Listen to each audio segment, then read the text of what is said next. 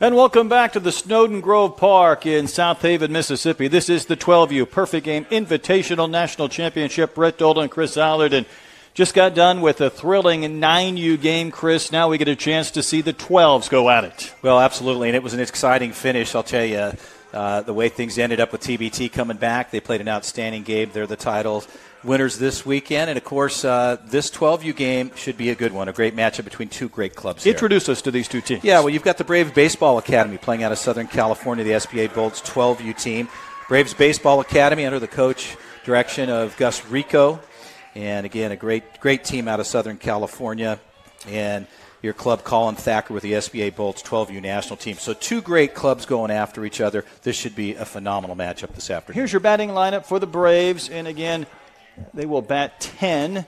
They also have a DH for the second baseman who will not hit. So we'll introduce you to these players as we get underway. And this is the left hander Grayson Bell on the mound to go up against Vincent Messick, the first batter. Yeah, Grayson Bell, lefty. He's got good command of the plate. He's got a good slider, fastball. This kid's got a myriad of pitches that he can run. And again, he's certainly someone to contend with. We'll see how he gets going here in the beginning. He says the slider is his best pitch as he throws the strike. And he also adds he's usually pretty calm on the mound. That might be tested with a championship game, but we'll find out. Young man from Douglasville, Pennsylvania. Yeah, again, looking at him as a lefty, he's got good location. If he finds himself in command of this game, this could be very interesting on the pitching side for him and the SBA Bolts. Always intrigued by those pitchers who are pretty good athletes. This young man was a wrestler going through the sixth grade, karate as a young kid, so a lot going on, and the pitch to Messick is a little bit outside. We've got six umpires for this game today. I mean, this is like a division series or World Series game. We got umpires down each line. Well, yeah, six man crew. It's a big crew. Behind the plate today, you've got Jeremy Mums. He is an outstanding umpire. As it looks like SBA is going to get their first, unfortunately, guy on the Braves uh, as they put the first runner on. That's Messick. You got uh, first base side. You got T.J. Davis, another good umpire for P.J. Murray. Uh, Singfeld, he'll be on second base. Matt Kaluza is over on third. Daniel Davis in left field, and then Landon DeStefano, he's out there in right field. So it's a big crew, but a crew necessary for a game like this. Jordan Leon, the third baseman, next man in. Braves get their leadoff runner aboard against the SBA Bolts for the 12U PG Invitational National Championship just outside of Memphis here in Mississippi. It's great complex. And that pitch way inside and low. So after the game, Chris, you got to take down the short fence, leaving us the regular fence at 275. You got to manipulate the mound, all part of the process going from 9U to 12U. Yeah, absolutely. So it's a transitional period. Number one, center field, we're 300 feet. We were 250 on the kids, 275 on the corners, so it's a little bit more distance. And of course, 50 70 on the pitching mound. So, you know, you've got some variables that are going on here. Crew was able to turn this around. It looked for the longest time in game one like we were going to have the if game. So this game that was originally going to be about two. For a while, it looked like well, this might be 3:30, maybe a little bit later. Then all of a sudden, it comes up to 1:15. So they've had to be flexible too. Yeah, there was some shuffling of the teams. I know that SBA was able to be located rather quickly, and I talked to Coach Rico, and uh, he got a phone call. They thought, you know, that play that we saw to finish on the walk off. Rico's watching it, thinking, okay, they're going to go in an extra game. These guys are rolling out of bed. West Coast kids got to get their sleep, I guess. That's another walk, so back to back free bases. And it took until the fourth inning in our first game to get some runs. Pitching certainly dominated early. There weren't a lot of hard hit balls, but all of a sudden, a couple of free base runners to begin this game. Well, absolutely. And uh, just definitely showing the difference of what's happening. I think, you know, you're, you're talking a variable on pitching velo, you know, command control, etc. And uh, I think right now we're just seeing a settling in on the pitching side. But yeah, two runners on in scoring position. This is Lewis Lappy, the first baseman. That ball hit in the air down the line in right, and the play is made. So Lappy flies out to Cunning, but our lead runner, Messick, will advance to third base. Yeah, well hit ball deep to the right side. There was a long route, so the runners had an opportunity, but uh, still well hit ball. Good barrel there, but uh, too much of a deep high fly. And of course, these guys are backing up. The defense is ranged up. They're deep. This is McGraw Van Wormer. He is the DH and the cleanup hitter from Prescott, Arizona. Goes to Mile High Middle School, seventh grade. and takes a strike over the inside corner. Yeah, good looking pitch there. Running on the inner half, fastball. McGraw's father Mark, mom's Mackenzie, but dad was drafted right out of high school to play for the Diamondbacks. He was in their very first draft class. That's a wave and a miss. Yeah, this kid, he's quick. He's got a good bat. If he finds a pitch, they've got an opportunity to strike here early. Runners at the corners, one down. Long, lean, and lanky left hander. He really works into those right handers. I think it might be just part of his natural movement, but has kept these right handers a little bit nimble in the batter's box. Well, he comes inside, and he's got a quick arm, quick release, and uh, it you know you've got to be on it, especially when you're looking at that inside pitch. Got a couple of players just playing catch outside the dugout in case maybe this first inning becomes problematic. That's a wave and a miss. Throw down is not in time, so Leon will get the stolen base. Messick held at third, but there's now two outs in the inning. Yeah, you never know what's happening on the hill. I mean, again, it, it, you're on a short leash here, especially in a situation where you've got a double final. I think that SBA would like to try to get this done in one. And the Braves baseball on the other side, obviously with runners in scoring position, like to get an opportunity in a pass ball or hit by pitch. Oh, hit by pitch. I thought maybe that was going to get by Mier, but it plunked him. So now the bases are loaded without a hit and two outs in the top of the first. Yeah, you can see the pitch here. Comes inside again. He's throwing a lot of balls on the inner half. Oh, sure is. You know, you're you're you're rolling dice a little bit it, if you don't have a good release point and good control of that pitch as it came inside there and put the man on. This is Wyatt Gordon, San the Diego right fielder, kid. California kid. There is. You almost wonder with Grayson Bell if he might be a little more inclined to slide towards that first base side of the rubber, considering the amount of movement he's getting into the right handers. Now, if you get it on the hands, it's one thing. If you end up hitting guys, not so good. That time he works the outside corner. A chopper to third, speedy runner, but the play is made. Woodley retires Gordon. So a lot of traffic, but no damage. Yeah, absolutely. Opportunities they're not able to capitalize and convert, but they're able to get out of the inning. We'll come back for the bottom of the first from Southaven. No score.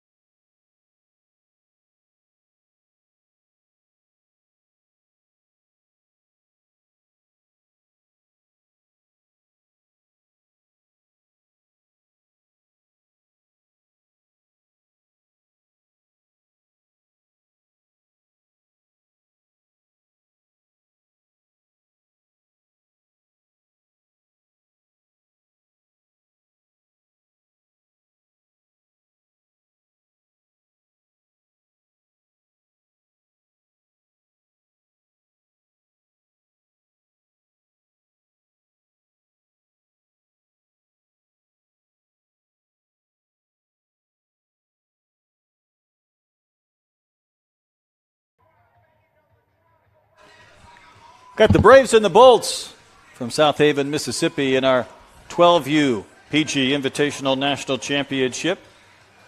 Bolts were able to navigate some trouble in the top of the first. Braves baseball did not score. They ended up leaving the bases loaded. We'll take a look at the lineup for the Bolts, and again, they're going to bat 10 with Bryant, Pettinato, and Lawrence just the top three. Curious to see. We might have a few more well hit balls in this game than we did in the first, which again for a while was really dominated by the pitchers. Yeah, absolutely. And I think you've got some power hitters here, and we'll see them coming up and opportunities for both sides. You've got Ruiz on the hill for the Braves. I like what he does. He's got good stuff again, good command of the plate. We'll see how he does as he settles into his campaign.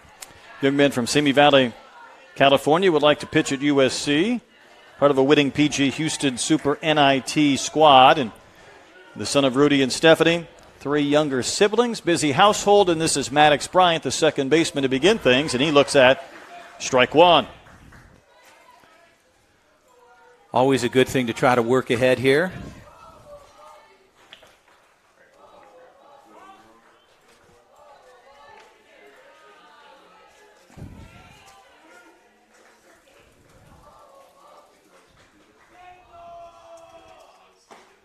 And Brian takes another strike. Good pitch. Had a chance to talk to Gus Rico, the head coach of the Baseball Academy. Got started in 2010. He's based out of Van Nuys, California. And he told me, he said they currently have a Braves alumni in the MLB, Hunter Greene, who plays for the Reds. Oh, boy, do they ever. Maddox out of Kingwood, Texas, in my neck of the woods, northern Houston area.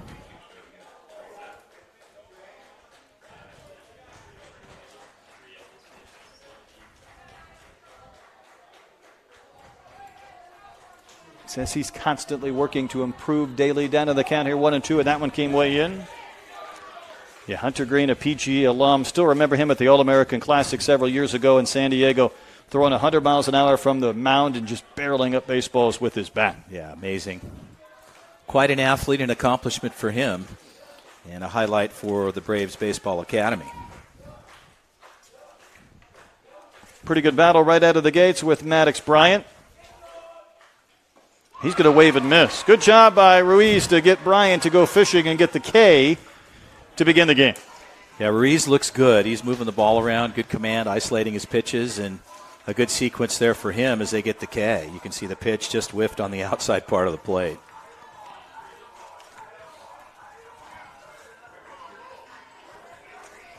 Colton Pettinato from North Carolina. Next man in, he is the catcher. Long and lean catcher takes one inside for a ball. Part of a team that won the PG World Series in back to back years. So he's already established himself as somebody who's used to playing in big games like this. And I think that's a key factor, too. You talk about that. You know, some of these kids come in with a lot of high level experience in some of the major events around the country, and uh, certainly in this case, an advantage to be in that position. Also, the PG Select Fest MVP last year for the 11U game that I had a chance to broadcast from East Cobb in Georgia, outside of Atlanta. 2 0 pitch, fouled back and out of play. Good cut. Just a little late there.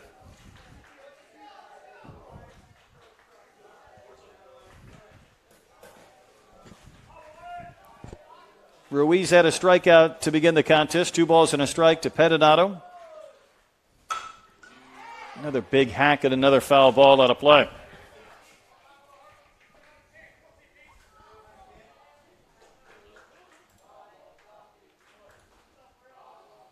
Ruiz has kind of been running the outer half of the plate. I think he could come inside here.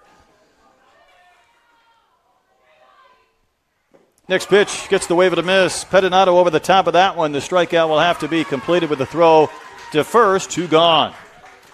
Good alert in the box, though. Drop three strike. A lot of players sometimes hesitate. They don't think about that. That's critical, obviously, in a drop three situation.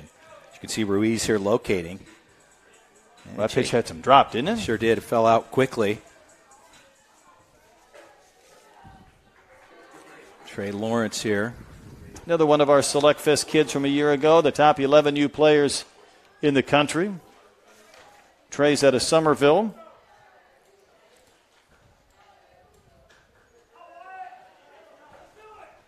He said the most important moment. That one is grounded to second base, right to Theard, and he is going to throw out Trey Lawrence. So that was a well done inning by Ruiz. Couple of strikeouts, soft ground out, able to navigate a perfect first inning. Off and rolling, we head to the second in the 12U Invitational National Championship.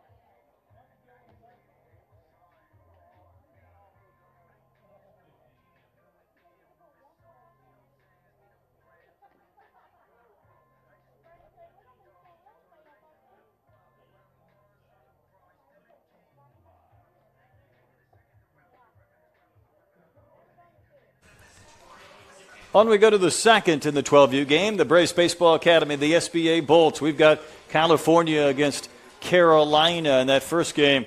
Chris, we had Florida and California, so these teams have sort of met in the middle, just outside of Memphis, for this big event.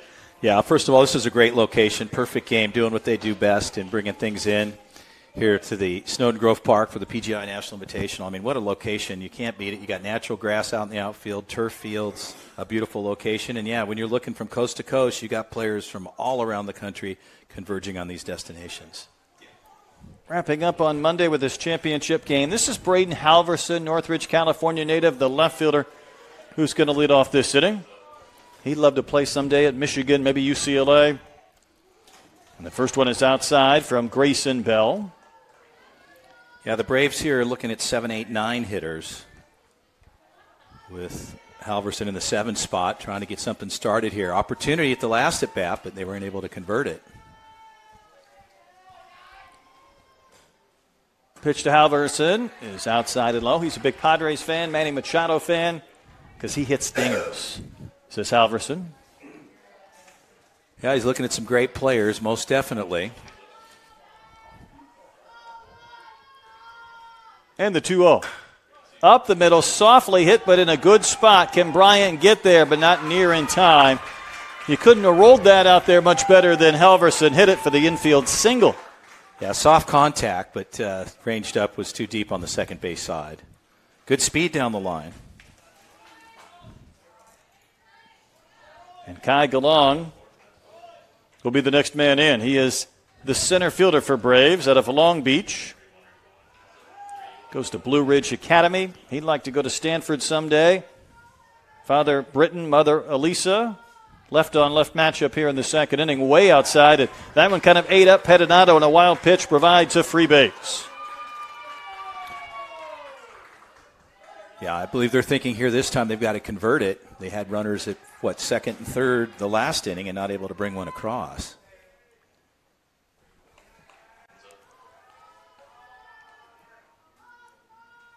This is a long pause from Grayson Bell, and time was called. You can tell this team is from California. Halverson had a mom who was a water polo player. Galong, his father, Britton, was the starting setter for the UCSB volleyball team. He was a gaucho, so you're getting some different sports than we have down here in the South. Yeah, absolutely. I mean, the South, it's football, basketball, baseball. We don't do a lot of water polo. The West Coast, it's swimming, water polo, tennis, indoor volleyball, outdoor volleyball, and I can speak from experience in that uh, myself playing the game for many years.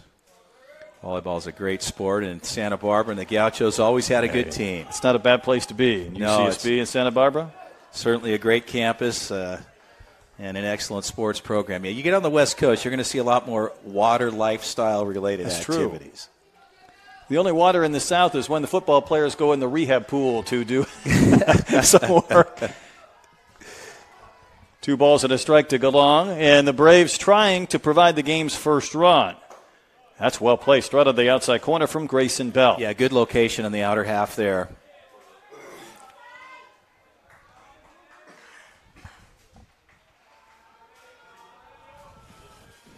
Long look in for the sign from Bell, working with Pettinato as catcher. And the pitch on the way is poked but fouled down the line in left. Yeah, a little late on that pitch there, but again, making contact.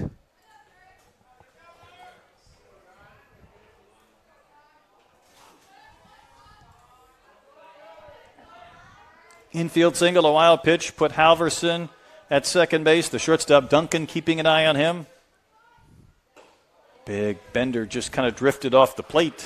Yeah, a little up in the zone as well. Yeah, good speed on the bags. You're going to play him close on the defensive side. Shortstop in the back pocket, as you said.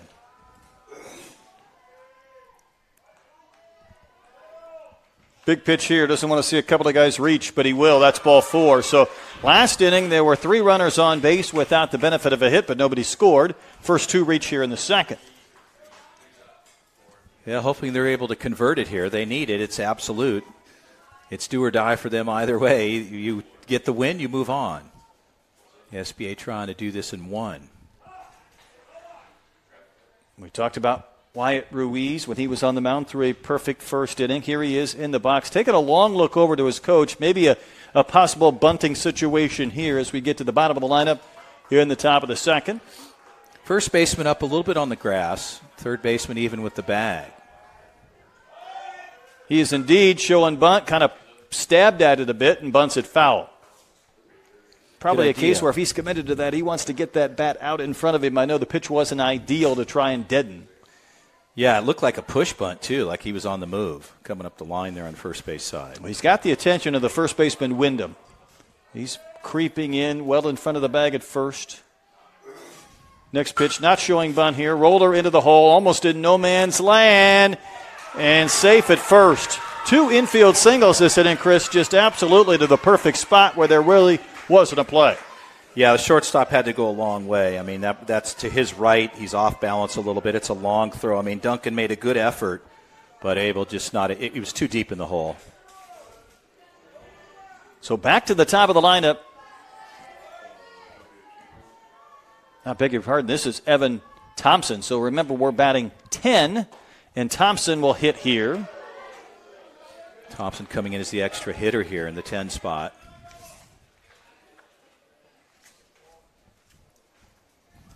So another lefty lefty matchup. Thompson out of Gilbert, Arizona, in the Phoenix area. Goes to Elite Performance Academy in Chandler in the seventh grade.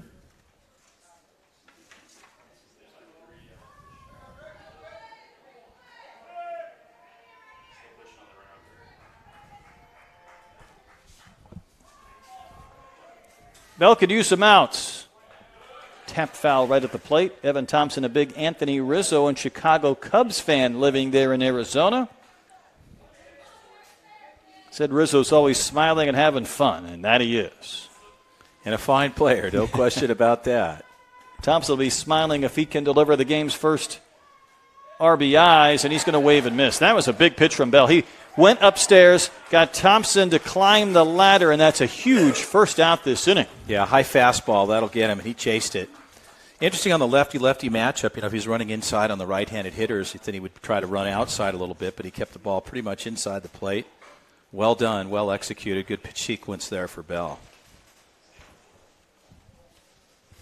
Bolts have been having a couple of guys throwing outside their dugout. There really isn't a bullpen area here in foul territory, but maybe just in case they wanted to make an early potential pitching change. And I think that may be exactly what they're doing. Yeah, I think that's happening here. And uh, I believe that's Ingram coming in for SBA, wears number 10 for the club. Oliver Ingram. Yeah, Ingram's got some good command of the plate, good velo. He's got a mixture of pitches he can move around. And I think, as you said, it's a strategic play here. And as we talked about earlier, you know, you get to this point in the tournament, you've got only a handful of arms left. SBA should be in a little better shape because they went through the winner's bracket. And they probably are doing so just relative to what's happening in the situation right now. Ingram says his self scattering report, his strength as a pitcher is getting batters to chase at the movement of his pitches. So, with a big strikeout, bases loaded, one gone, I know he'd love to find a way to kind of walk the tightrope and get out of this inning to keep Braves from scoring first in a must win game for them. Yeah, absolutely. Well, the opportunity's there for the Braves, whether they can capitalize on it. They had a shot at it the last at bat and stranded a few, but here's an opportunity again. So we'll see how it plays out. I like Ingram, though. This kid's a cool customer. He can get up on the hill and do his business and take care of things for his club. Well, he says his nickname's Big Sexy, so you know he's got a personality already. Absolutely. When a 12 year old goes by that. Yeah, absolutely. he's from Roanoke, Virginia. His dad, Andy, was a baseball and hockey player at Roanoke College. His grandfather, and I find this fascinating, his grandfather was the tailback at Virginia Tech, but he was also a member of the famous Edison High School team that Remember the Titans. That movie was based yes, on. Yes, indeed. A little bit of history there in the family. Ah, that's a good one. Might be worth sitting down a couple of times a year just to pop that in the old DVR if there's such a thing, or the VCR, or whatever the DVD whatever we're using. One. Yeah, if there's still one buried in your garage or up high in your closet somewhere, right? Well, Vincent Messick will bat. Now, he led off this game and drew a walk. San Dimas, California native, but was stranded at third base. And the first one not close. His father, Glenn, former high school and college men's basketball coach, but now is a premier head travel softball coach in the athletics organization. Wave it a miss. So they chase a lot of bouncing balls in that family around the summer. Absolutely. Ingram going upstairs on that last pitch.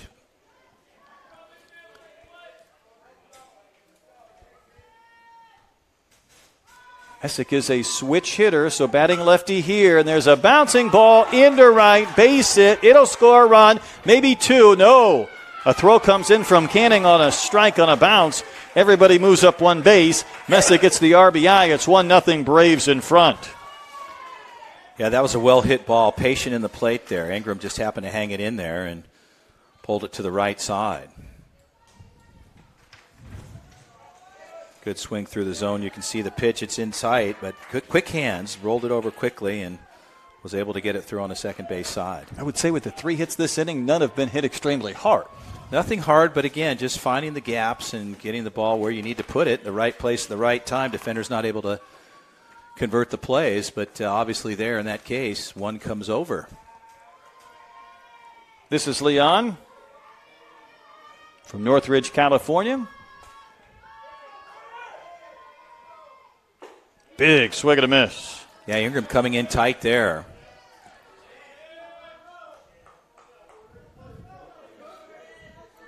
Leon's father played football at ASU, older brother played college baseball. It's an imposing figure in that batter's box. He's a strong kid as Ingram runs it outside and misses. I mean, he's almost daring those pitchers to work on that outside corner. He's trying to take away that inside edge deep in the box, open stance.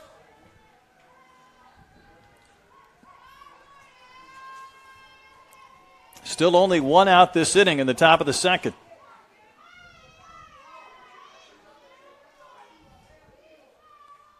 Yeah, Mom's grant some time out there. It stepped out quickly. A little bit of chess going on between the batter and the pitcher. Hit high in the air to center. Trey Lawrence, good defensive outfielder underneath this one. It will produce a run. The throw's going to go to third, and it's not in time. Tagging and scoring is Galong, and the sac fly makes a 2 0 Braves. Yeah, good barrel, good elevation on the swing, obviously giving an opportunity and time to score the run, tagging up. Long fly out. Ingram really laid that ball in there. Lot of lift in that swing, but it still was up in the area a long time. You see Galong tagging, coming home to score. Lappy just fouled one back to the screen. Lappy fly to right. It holds his only at bat.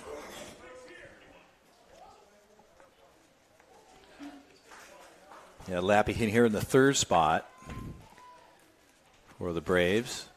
Out of El Segundo Middle School. Son of Ted and Catherine. Boy, that one just blistered, but way foul. Quick hands. Fast through the zone there with his swing. Lappy, another one of my 11U Select Fest kids last year, played for the West. Only one of two players in 12U to win the Houston Super Regional three out of the last four years. So, again, he's been part of good teams, winning teams, championship clubs. You know, I think that speaks volumes, and really it's a path that a lot of these young players can take through the PG program. There's so many good teams that are competing at this level now. Uh, you know, every year free agency becomes a real thing for some players, often moving around. Well, that's trouble. Another one that just found the perfect spot into center base hit. Lappy with a single that'll plate. Ruiz. And that's the third run of the inning. Soft contact, just landing on the grass perfectly. I mean, the defense was ranged up for a little deeper hit, but whatever it takes to get on. That's four hits, two infield singles, two chopping, rolling singles that have found the outfield. McGraw Van Wormer will now bat. He struck out back in the first. Remember, again, there's two outs, so they need that final one. The comebacker handled calmly in a dive to first. It's not in time. Play was made there to end the inning, but three run score. What a good beginning for the Braves squad. They are in a must win situation. They play three, jump out early against the Bolts here from Southaven.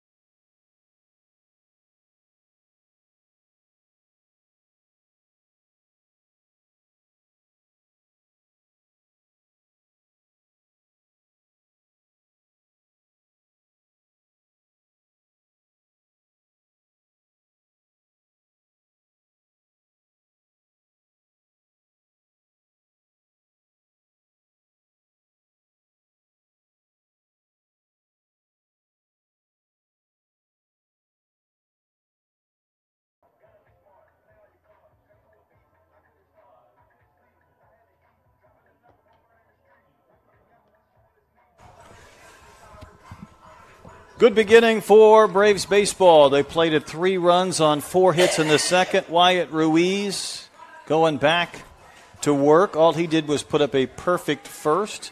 Always a question, Chris, when you get this deep into an event, how many pitches do these pitchers have left? How many are they able to throw, and how efficient can they be then when they get their chance on the mound? Yeah, absolutely, and I think I think that's the key factor right there. I mean, where these numbers are at starting and where they go. I mean, you can 85 in one day if you got a perfect record, but we'll see what happens here and where they are at with Ruiz. We don't have those numbers, but I think we'll get a feel for that with the Braves and how they proceed forward. But again, they're out in front 3 0. Ruiz looked good in his first half. Colton Wyndham from Lakeside, California. First man in, a pitcher, a first baseman, a third baseman, an outfitter, but a big lefty hitter. Yeah, he can swing it here. Ruiz is probably going to stay outside on him. Maybe run him in. We'll see. Maybe go upstairs, but I wouldn't hang anything fast. He can drill it. In the 2023 PG World Series, that one is in the air to center. Go long there, and he puts it away. I was beginning to say that Wyndham was both the MVP and the MVP pitcher. That's Ohtani like, but he yeah. flies out here to begin the second inning. Two way guy, good cut, a little bit more elevated on the bat swing going through the zone, put the ball up pretty high.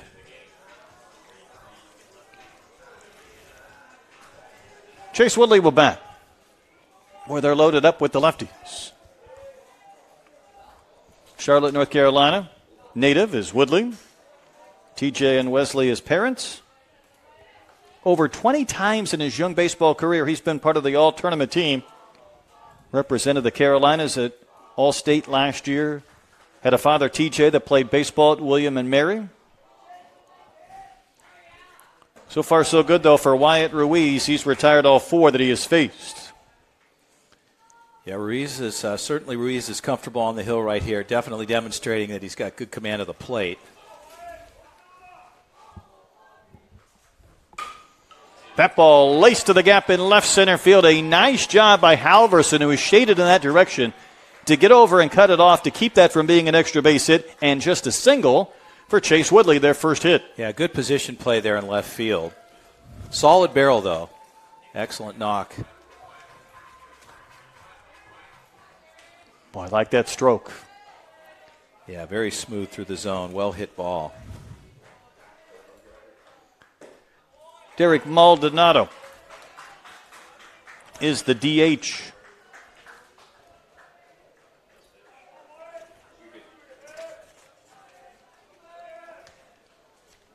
Another big, powerful bat in the middle of this lineup. Yeah, Woodley's got good speed, and I think Ruiz knows that. Taking a couple of extras over on the first base side. Hands held high there from Maldonado. Pitch comes up and in to bend him back out of the way. Yeah, big hitter here. Ruiz just trying to set him up.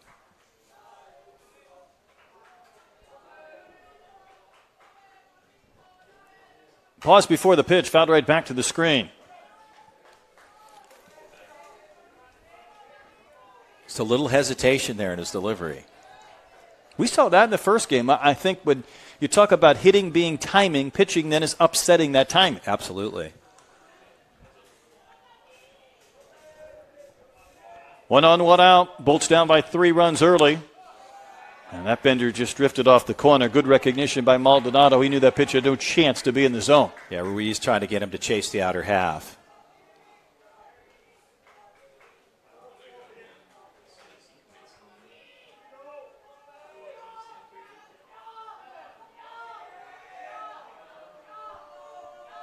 Come set right at the belt. Ground ball to short. Can this be two? Well, there's a bobble, and there will be no outs. That's a tough play there on the shortstop side. That should be a routine out, at least the advancing runner, and a reach on air there. Essick wasn't able to handle it. I think that's a case where he was almost kind of going down to a knee rather than just to come through that ball, take it on a hop, and make the quick flip. Yeah, he looked like he, he stumbled a little bit trying to get to the ball. You see him there. He dropped his knee very quickly. That probably. Then you don't have that opportunity to get that short hop or the big hop. The hop's going to catch you yeah. at that point. In that case, it did.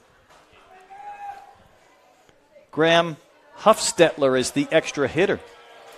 Tell you what, this man gets in that box. He does not look like he's 12 years old, does he? That's a yeah, he's big a hitter. He's a big kid, and uh, he can swing it as well if he gets a good pitch. Ruiz came upstairs very high. And of course, now a little conversation with Gus Rico, the head coach, talking to Ruiz and his guys. And again, an interesting situation start to unfold here as Colin Thacker Talking to his hitters here. A three run top of the first by Braves baseball, taking advantage of two infield singles, two soft rollers that found the outfield grass. The Bolts, they are the undefeated team. They would love to get back in the score column at some point this inning. And of course, Braves would just love to put this one away to earn a second if game to play for the true championship then. Yeah, Huffstetler has the opportunity here with men at first and second and one out here. Ruiz probably focused on just trying to keep the ball low in the zone as time's called.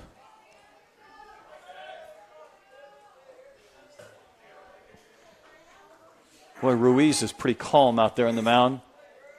Kind of expressionless as he gets his sign. And the pitch. Good breaking ball. Yeah, Ruiz is a cool customer. He's very, very calm on the hill, locked into what he needs to do.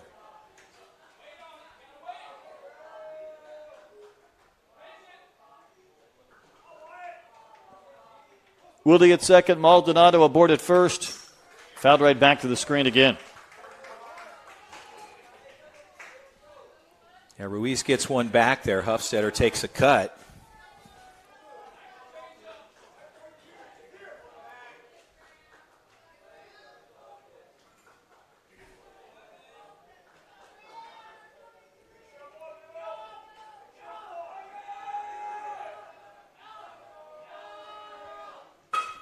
Poked a second. Another chance for two. There's the flip. And the return throw not in time. Good play on the second base side, though, getting the flip. The R to Messick, but no chance to get Huffstetler. Those big strides got him down the line in time to keep this inning alive. Reese taking a lot of time on Huffstetler, though, before the pitch. I think the pitch clock would have gone maybe twice there. been huffing and puffing. Most definitely. Well stated. This is Ryan Canning the right fielder. Well, SBA here with runners at the corners. I mean, we think watching whether it's the college game or the major league game, how you can't give good teams four outs. You certainly can't give them five outs. I know it's a situation when you're talking about 9U and 12U kids. That's just part of the process. I mean, you're going to have innings where things don't go your way, and you've got to find a way to limit the damage. Uh, flip to first, not in time to kind of work around maybe a bobble or a misplay of some sort to uh, keep innings from ballooning. Yeah, I mean, that, absolutely. I mean, you've got to make the fundamental plays. I mean, you know, you, you, you, get a ball hit to you, you've got to make that play and convert it, and that's where, as you state, you know, you're playing for four outs or five outs, whatever the situation, and that really becomes the differential, I think, sure. in a lot of these bigger games. But it happens with a much more regular basis at this level than it does the older level. So, the, in some senses, you're used to doing that. What you can't allow it to do is a run may score because of an extra batter or an error. But in a championship game, you don't want it to be four runs or five runs, obviously. Well, that's a tough one to come back from. There's no question about it, and it happens. But uh, you know, you, you can't rely on that. You may have done that in a pool play game against a different level team, and you're saying, okay, we're accustomed to maybe coming back, picking three, four, five runs out of it. But that's a tough call when you get to really the final two teams. Two balls and a strike to Ryan Canning. Gonna try that maneuver again. Look to third, back to first. Had a couple of balks in our first game, the 9U level. Had the attempted move, but didn't throw the ball.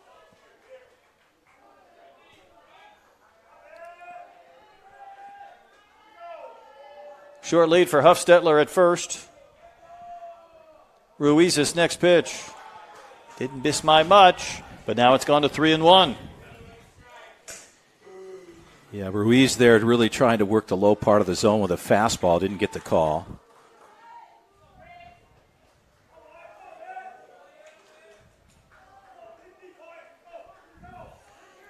Big batter early for the Bolts.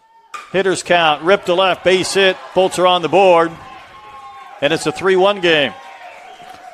Well hit ball. Jumped on it early, pulled it through, got it through the hole there, and a good swing. They're able to get one over. You can see here, a pitch just hanging right in there. It's up a little bit, but a good swing, a good adjustment.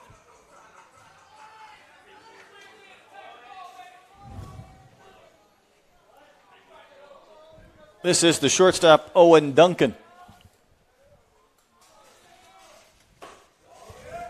A little bit off the outside corner to Duncan. Yeah, Duncan comes in as the nine hitter with Snyder on deck. Wesley Chapel, North Carolina native. Selected to represent North Carolina, South Carolina in the 2022 PG All State Games, part of that 23 World Series winning team.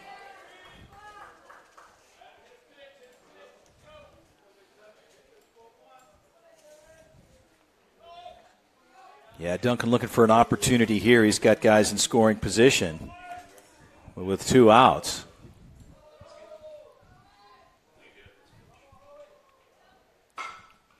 Fouled away. That's a 2 0 hack by Duncan.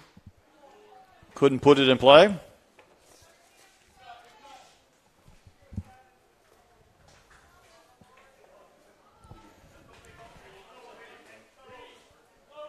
A decent hitter here. I'm surprised with Messick in so tight on the shortstop side. I am too. Well placed on the outside corner. Good pitch there by Ruiz. Five hole wide open. And we've already seen Ruiz get several ground balls this inning. And that's what is concerning there when you're you're playing in so tight here. You've got two outs. Perhaps maybe range up, but you got to roll off quickly if something gets through the hole fast, which could be the case. He'll roll off here. Pitch down and out, backhanded by Mier behind the plate. And now the count has gone full. So now these runners will be able to take off. A base hit should, should certainly be able to score Huffstetler from second. Extra base hit might even score Canning from first to tie up the game. It's a big pitch for Ruiz here. We'll see where he goes with it.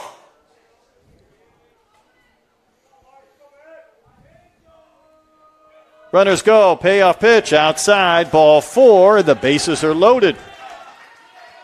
Yeah, I think Ruiz was thinking maybe let me go outside, maybe up in the zone, to see if he would chase. But he certainly was too far outside, and Rico, Coach Rico, will head out to the bump. He's making a pitching change already. Wants to bring on his center fielder. Yeah, I mean, I think at this point in time, this is a must win situation. You've got to put a guy on a short leash here. Ruiz still did a fine job. But uh, in this situation now with the bases juice, you got two outs, you got to work hard for one. So both teams have already removed their starting pitcher. And this is Kai Galong, who inherits a bases loaded two out situation in the second. Yeah, Kai lefty for the club. Doesn't throw real hard, but he's got good command of the plate. He's got a good blend of pitches, can move the ball around. He can throw the batters off balance, and certainly throwing them from the lefty side, he's got good, some good movement. And again, hopefully he can come in for the Braves and get the one out that they need. As he takes a couple warm up tosses here.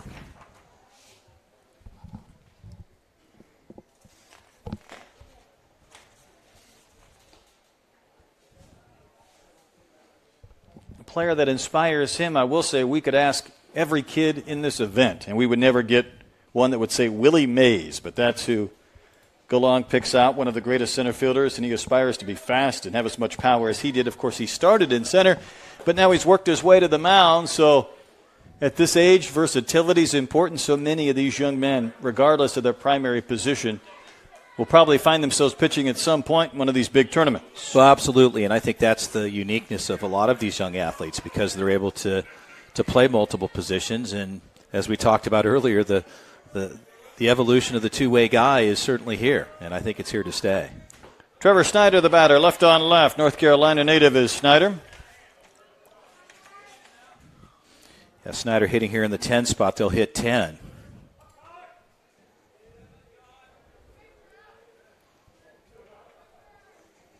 A run home this inning after the Braves scored three on the top of the frame, and that's a big wave of a miss. And that's the type of swing I think what you hope to induce when you bring on a left-hander to face a left-handed hitter. Yeah, it was a big swing there, but a great pitch, great location in the lower part of the zone.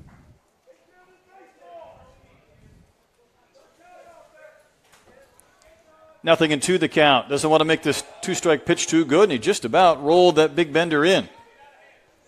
Little up in the zone, maybe a subtle adjustment. He'll get the strike called there. Big movement, though.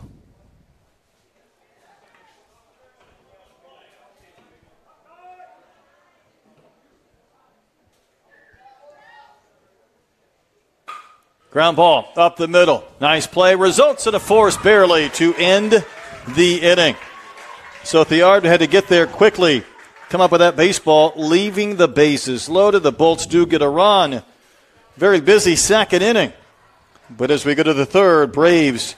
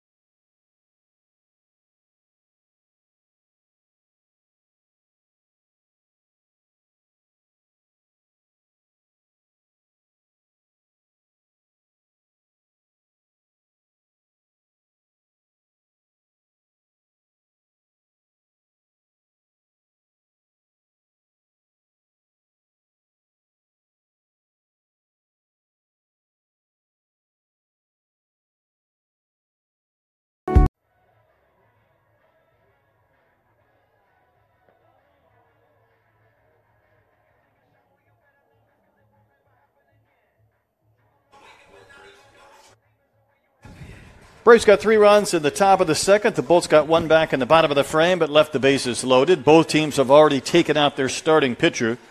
So Ingram will work here in the third. Mier, Gordon, and Halverson, the heart of the lineup for Braves baseball. Squad out of Southern California. Yeah, they go five, six, seven here. Certainly, you got the right guys in the right place here. And the Braves would like to try to add on here in this particular inning just to continue to push this game forward in their favor to get a double final out of it. First pitch fouled right back by the right handed hitting catcher. Big Dodger fan, big Mookie Betts fan. Who isn't? Especially when you grow up in SoCal. Oh, one is that breaking ball that's tagged to right. It'll start to carry, and it's over the head of Canning.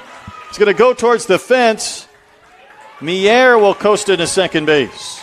Well hit ball. Double. Absolutely. Well hit ball to the right side. It looked like Canning thought he had a play on it. Then that ball started to carry, and he really wasn't in position to drop step any further and go back and get it. Yeah, he opened up like he was headed, and he had a good route. But the ball was just kept carrying a little bit deeper. Wyatt Gordon bounced to third his only time in with the bases loaded to end the first inning.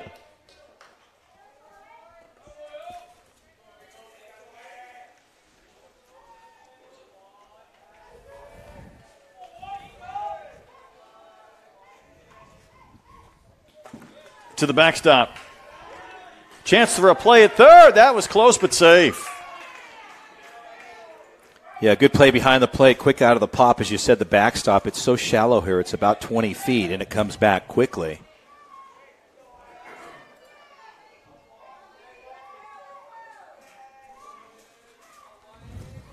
No doubt good athleticism for Gordon. His father, Iman, played college football at Stanford, followed by eight years in the NFL, and mom ran college track. There's some speed for you. Doesn't hurt. Any of those genes that he inherits. Mom, Roxanne McCray Gordon. Big swing, fouled right back.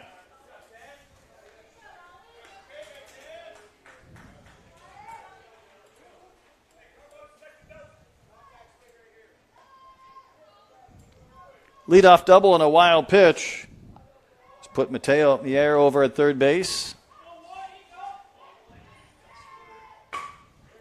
That's a chopper up the middle that'll get the run home. Play made by shortstop on a gliding effort. Well, they bring the run across. They put four up here. And Duncan makes that play, but it's now a 4 1 game. Yeah, routine play there. Played the hop well.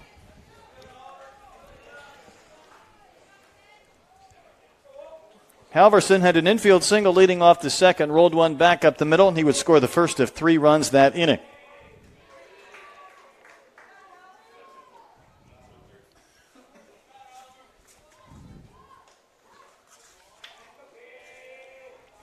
Northridge, California native.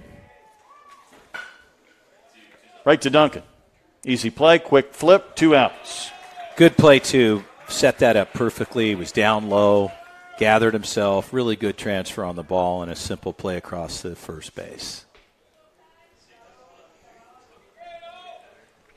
This is Galong. We start him in center, and then all of a sudden he moved to the mound. He's now batting for the second time, so he's been involved in a lot of situations already in this game.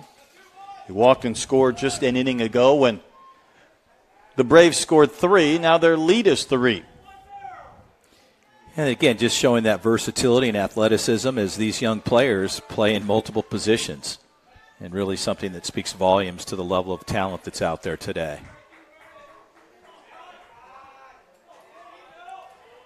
Feels like Ingram, with that size and that frame, he's really bringing some juice. He dropped down with a breaking ball there, and that's three plays for Duncan, just gliding over the base. Leadoff double produces a run, three straight ground ball outs. And just like that, we go to the bottom of the third inning. Braves, though, a 3 1 lead. It's a 4 1 game here in Southaven.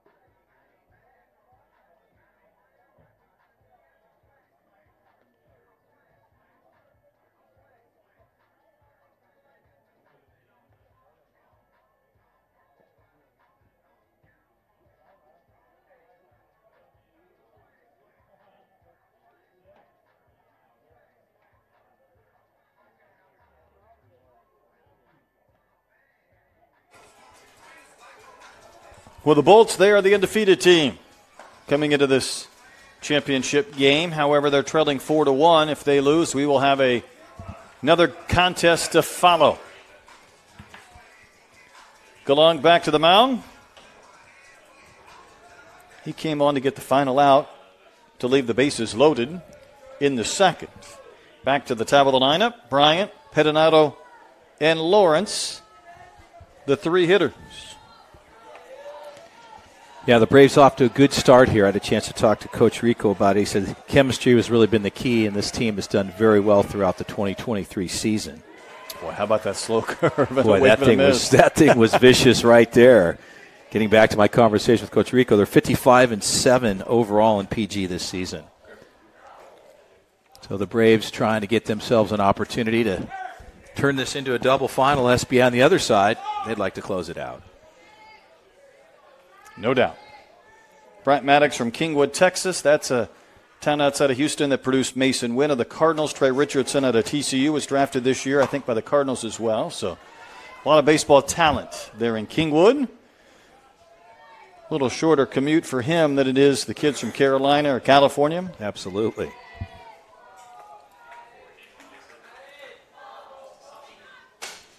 Almost sounded like a cracked bat, but it's going to dump out to left and will not be caught.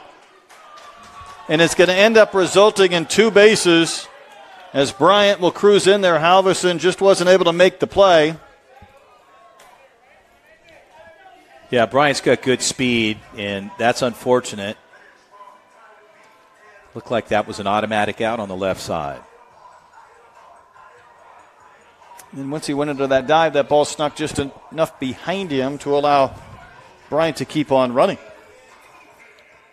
Yeah, this is a big opportunity for SBA here, especially with the speed they have in Bryant over on second. And the catcher, Pettinato, struck out back in the first. Ruiz coming inside there with the fastball.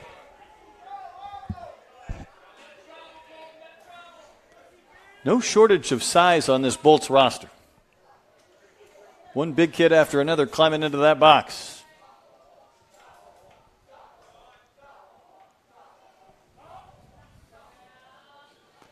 Might have something to do with the water in North Carolina. They say that about the West Coast. I just think kids are getting bigger today, regardless. Households are getting tons of food, I'm sure. Kids are eating well, that's for sure. That's way inside. It's going to go to the backstop. It'll provide a free base as Bryant trots over to third.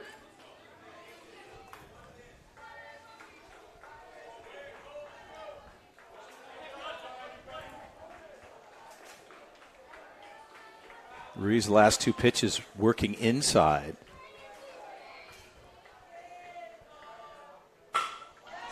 Blister to center, and this ball is going to carry right on over the head of our center fielder to the fence.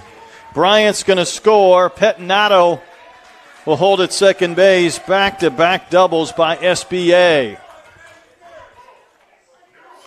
Yeah, that ball looked playable in center. Just not off the, the barrel quick enough on the route. It looked as though a line shot you could see here. Keep in mind it was Galong who started in center, so we've already made a change when he came out there on the mound. Yeah, that ball was hit deep, but it looked like maybe right off the barrel, just a little bit of a delayed start on the route. And Trey Lawrence was trying to hit one about 400 feet. He just loaded up, was trying to hold back on that pitch.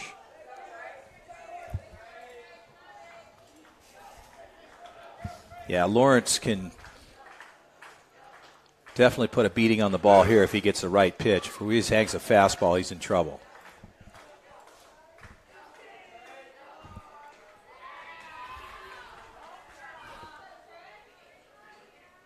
That was Gordon who shifted over to center from right where he started. Again, looks like we're going to have a pinch runner as well. For the Bolts, Mason McKay is going to run at second for Pettinato, the catcher.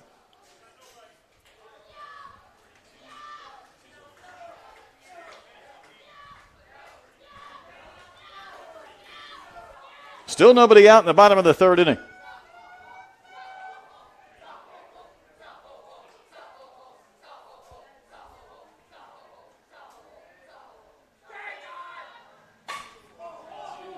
Popped up right side over near our tent, and that ball's going to be out of play.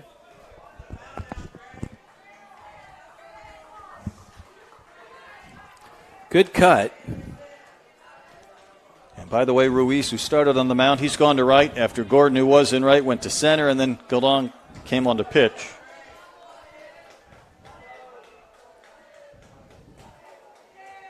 Two strikes on the dangerous Trey Lawrence. Back to our breaking ball. Is strike three called? He doesn't like it, but that's a big first out in the inning. Yeah, that was a good pitch. Mums called it right away. He didn't hesitate.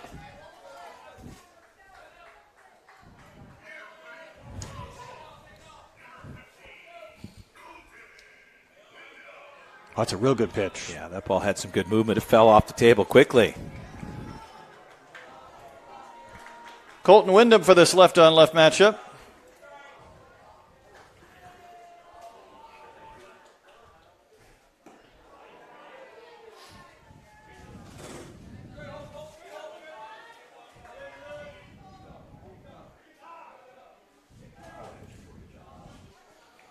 A little bit of life in the Bolts dugout. They've scored a run this inning to cut the deficit in half. Still work to do. They'd love to finish off this championship in one game. Braves trying to make it a couple of games this afternoon as the temperatures pick up here in the Memphis area. That throw ended up in center. I'm not sure what you accomplished by that maneuver back to second. What you've given up, though, is a free base and the risk reward allocation. Well, absolutely in scoring position now, another opportunity for SBA. I mean, this is a really tough. I know he takes that big step, but you got to make a perfect throw. The shortstop's got to contend with the runner, and then it ends up in center. Well, you could see they kind of got aligned with each other and jammed a little bit on the throw down, and that's a difficult play to make as it rolls through to center field, and now a hit by pitch. Mm. Ruiz looking a little bit loose. He went outside his first two pitches, and then he tries to come inside and tags the runner there with Galong. Apologies there. So now there's runners on the corners. And Chase Woodley will bat. He started out the second inning, got a single, was able to reach on a bobbled play at second that he should have been forced on, then he scored.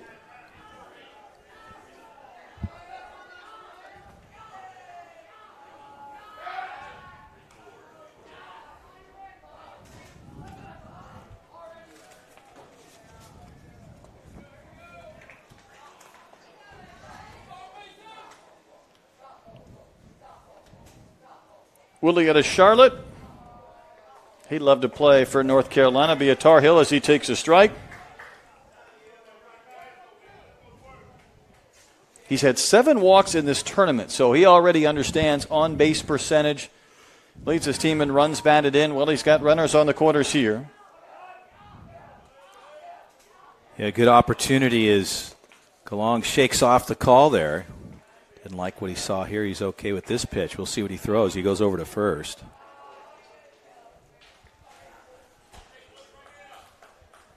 See what Woodley can do. This young man's a tremendous student. By the way, he's a 4.0 student, magna cum laude, and uh, he's in Algebra 1 this year as a seventh grader. I didn't know that was possible. I didn't know it was possible either. Impressive. Right now, the numbers he's concerned with are the runners on the bases. Looked like a pretty good pitch yeah, looked from Galong. A little, little bit up. Yeah, he's got some horsepower upstairs for sure. He'd like to try to convert that into his bat and get a knock here.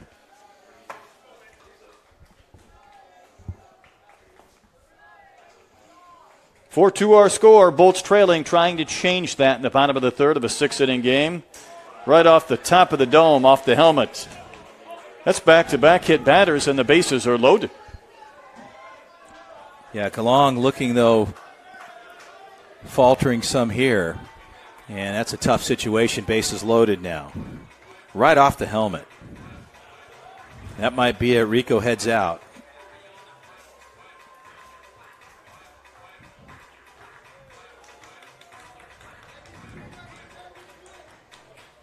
Well, I thought Ruiz looked good early, and then they made the change to Galong, and now I'm curious if they might be considering a third pitcher. We're only in the bottom of the third inning, and keep in mind, again, always the possibility of another six innings after this game. Well, it's a must win situation for the Braves, so I guess he's going to leave him in. That might be questionable. That could pay off. But with the bases loaded and the situation he's in right now, we'll see if he can grind his way out of it.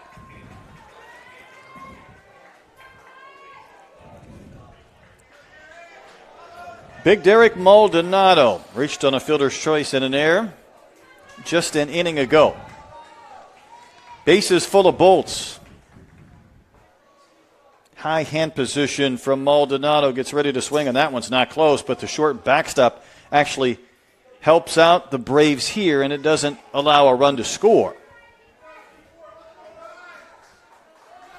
That was an interesting pitch. I mean, after taking a moment, just settling back in, and you know, he dried his hand off. He got a little bit of rosin there, and th- you know, that ball was five feet away from the anywhere near the plate. Yeah, it wasn't close. So what do you do with the next pitch? Hit a mile in the air to right. This ball starts to carry Ruiz back there, and he can't make the play. It's going to drop. The runners had to hold, anticipating a catch. They all move up one base, and it's a 4 3 game.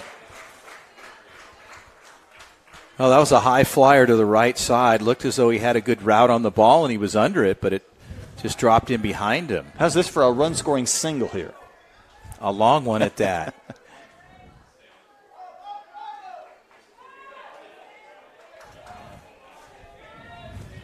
Still only one out when Lawrence struck out looking. Huffstetler also reached on a fielder's choice back in the second, beat out a possible double play bouncer. Maldonado gets the single. That ball traveled about 260 some feet and dropped beyond the reach of Ruiz. It's not a windy day. I think sometimes, though, these outfielders have been fooled a little bit by just the carrier, the strength of some of these hitters to elevate or to barrel up some balls. Yeah, absolutely. I think where I'm concerned with right now is when you look at, at Coach Rico and his squad, he, he really doesn't have anything happening as far as Anybody playing catch as far as pitchers go? I mean, they could be out of arms. Huffstetler takes a little bit in. I'm surprised they did pull Ruiz. He was okay.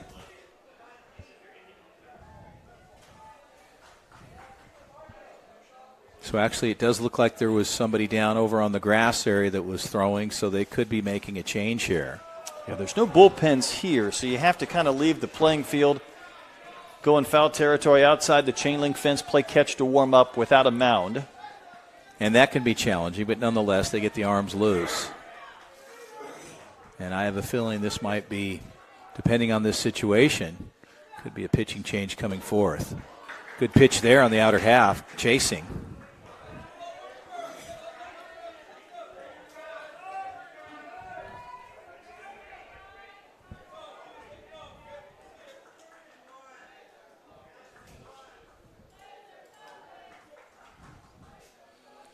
This becomes a really big batter in this game.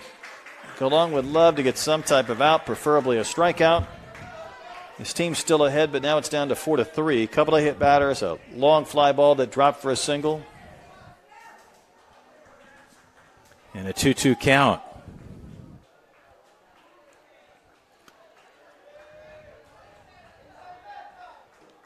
Galong comes set. Here's the pitch. Fouled back to the top of the screen it was played by Huffstetler on the carom and just picked it up with his bare hands and flipped it back to Galong.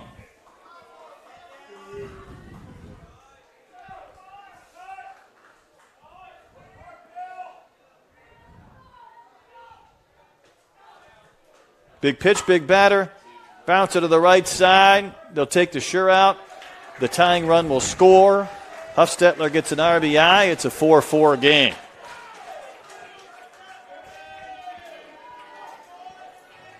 Was the right play by Theard just to take that out. Yeah, there was no option at home plate, obviously, and now we're in a 4 4 tie. So SBA coming alive here.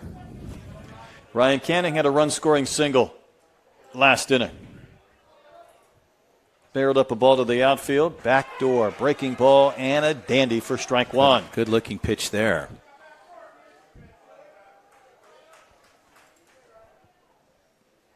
Canning hits in the eight spot.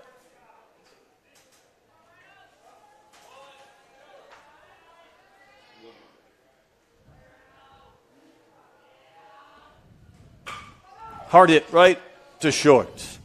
Should end the inning and will. Messick with the play. So the Bolts battle back. They score three runs. How about this? We go to the fourth in a game tied at four for the 12U PGA Invitational National Championship.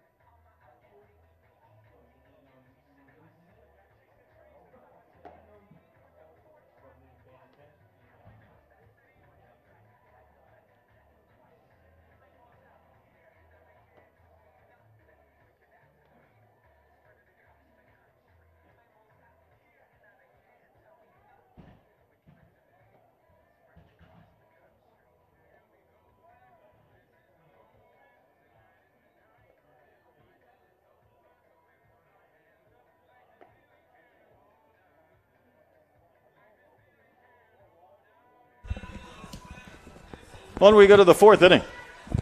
Game tied at four. Brett and Chris Allard. It feels like we've seen a few of these teams back on the ropes, so to speak. Maybe taking some punches, but here we are, tied as we go to the fourth inning.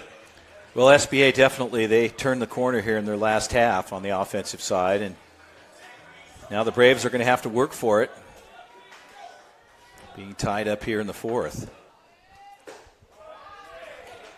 We saw Wyatt Ruiz starting on the mound, then he moved out to right, batting for the second time. Had an infield base hit back in the second, scored a run. Waves and misses against Ingram. He's done a pretty good job since he came on. Now, he gave up the double to lead off last inning on a ball that we thought off the bat might be caught. Then he went ground out, ground out, ground out, all to short to Duncan. Yeah, and working ahead here. They had a ball and two strikes. Ingram settling in. He looks good.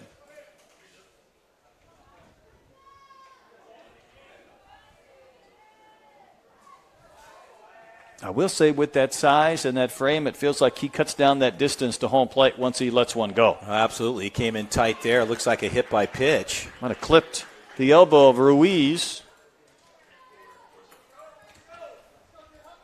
Just what the Braves needed to try and get back in business, maybe regain the lead.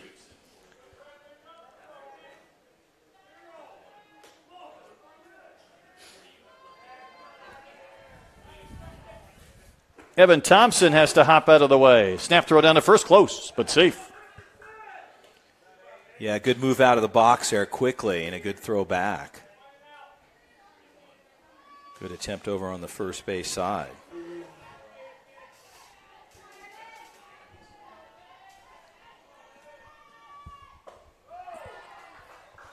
Ingram kind of drops down a little bit on that breaking pitch, doesn't he? It's, it's almost a, a slinging type action. Yeah, his arm slot, you can see it drop out. It's not every pitch, but in that case, it certainly was much more visible.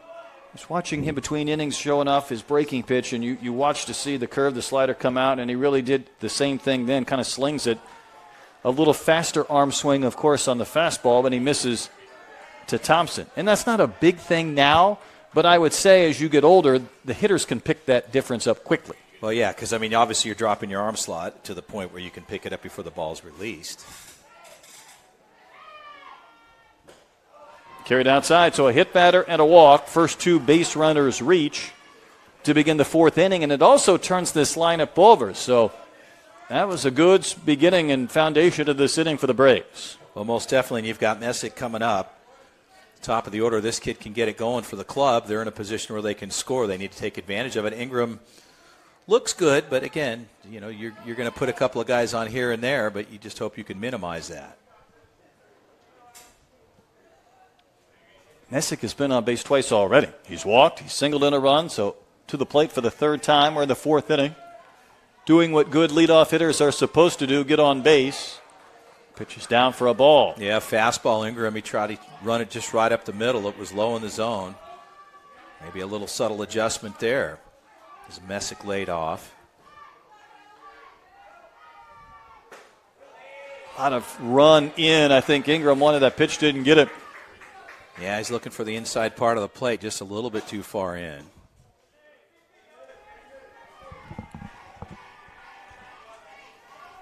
Hit batter and a walk to begin this fourth inning. That's a well placed pitch. He was able to recalibrate and find the strike zone. Subtle adjustments. It's impressive these kids at this age pitching again and even hitting, being able to make those adjustments and really raising the level of their skill set. I mean, it's nothing if not a game of adjustments. And sometimes we think game to game, sometimes it's pitch to pitch. Absolutely. And I think what you're finding and you're starting to see in some of the, the pitchers that are maturing within their game, you're seeing their ability to kind of scrub that. If they make a bad pitch, they can adjust quickly. Absolutely. 2 2 pitches downstairs, knocked down by Pettinato to keep it in front of him. But now the count has gone full to Vincent Messick, the leadoff hitter. Big pitch for Ingram. Here it comes. Sliced foul. Right by our camera position. That almost took somebody out.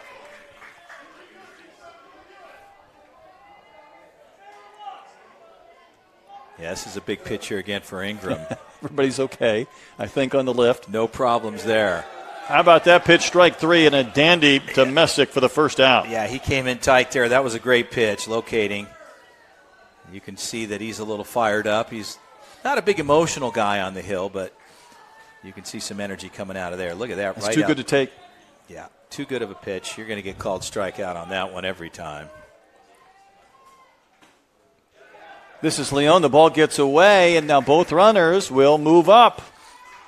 One out, pass ball. You didn't want to see that happen. Runners at second and third now, an opportunity. Yeah, it takes away the force at any base, takes away a possibility of a double play on the carpet. Good cut, a little late on the fastball. That ball could have carried. And a good swing. Leon walked in the first, had a sacrifice fly to center field back in the second. So he's driven in a run. Two more men in scoring position for him in a 4 4 game. Started a swing, laid off, and maybe happy that pitch missed. Yeah, Ingram came in tight there. Probably put a little bit up in the zone.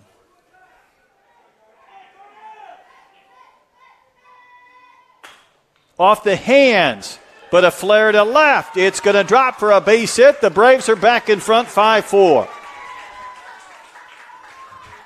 That's where strength at this age comes into play. Yeah, I'm surprised that Duncan, you know, looked as though he rolled off well from the shortstop side as if he had a play.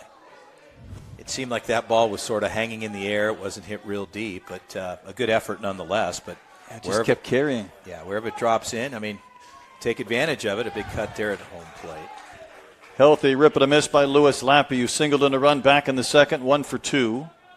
So the Braves back in front by a run, 5 4, fourth inning. Braves need to win to force an if game to follow for the championship. They've got a good man in the box here in Lappy. He can get a knock here hitting in the three spot. On the ground, that's a fair ball. Nice play at third. The throw is going to be in time. What an effort by Woodley. Yeah, that's a great defensive play there. To his right, dropped the glove down, got the leather on it, came up quick, and an excellent throw across. Now, a run does score, but my goodness, that had a chance to be so much more. Absolutely, but a great play there over on the third base side. Chase Woodley. So now a 6 4 game. Leon did move to second, so he's in scoring position for McGraw Van Wormer, who's 0 for 2. Cleanup hitter.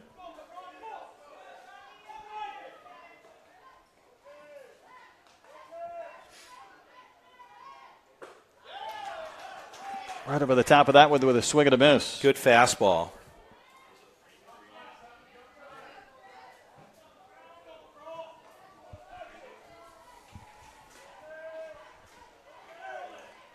Nothing and two. Woodley's got another play. He's handled them both in back to back sequences. That one just a little easier, but the Braves get a couple of runs on just one single. The hit batter and the walk to start the inning both come across. And the Bolts have some work to do again, trailing 6 4 as we go to the bottom of the fourth in Southaven, Mississippi.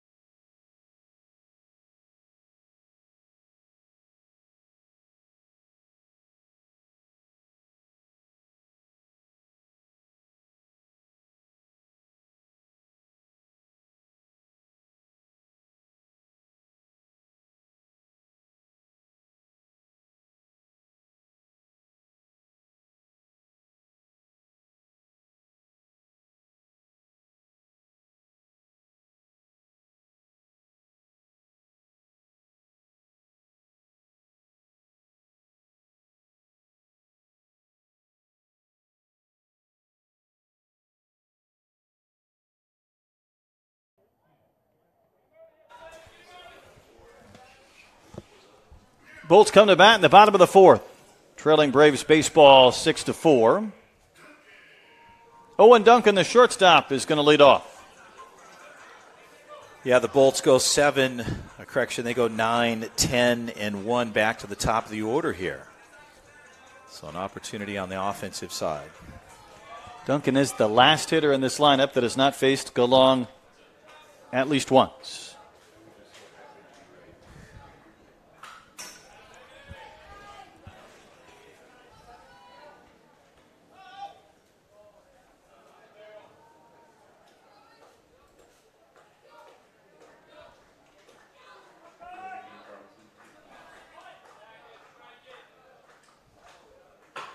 Little chopper, comebacker, handled easily, underhand flip.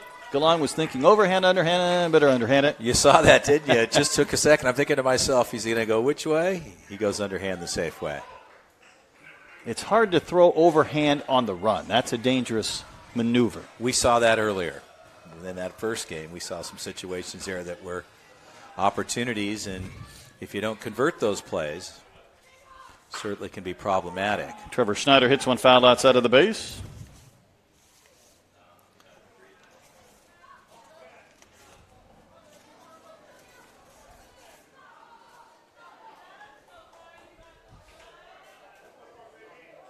Metrolina Christian Academy, seventh grade for Schneider, and that one is going to be put away at second base by Theard.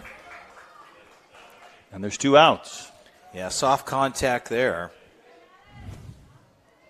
And a routine play on the second base side. I talked to Coach Rico about this on the Brave side. He says fundamentals. We work those things through. That's what gets us where we get opportunities to do well. Hit well by Bryant. This ball starting to carry, but run down in center field by Gordon. How about a one, two, three inning? Great inning, a long fly out, well hit ball, good barrel, good contact, but an excellent play on the center field side. On we go to the sixth. Deep fly out, harmless frame, 6 4, our score. Braves in front.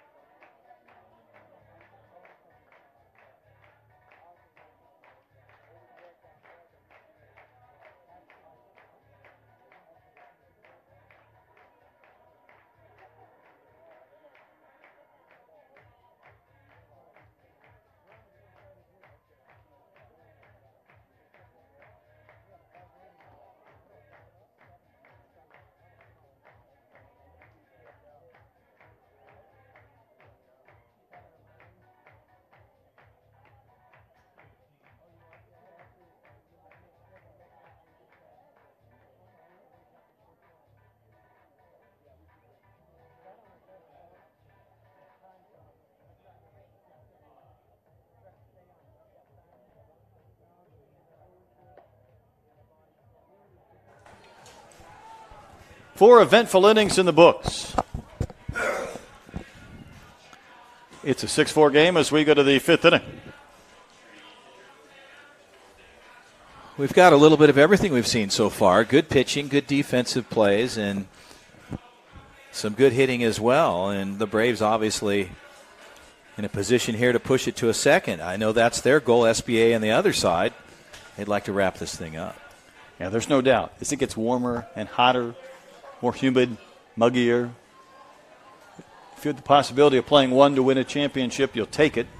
Mateo Mier doubled and scored in the third inning, takes a strike from Ingram. Yeah, Ingram with that fastball locating well there. Miers lays off.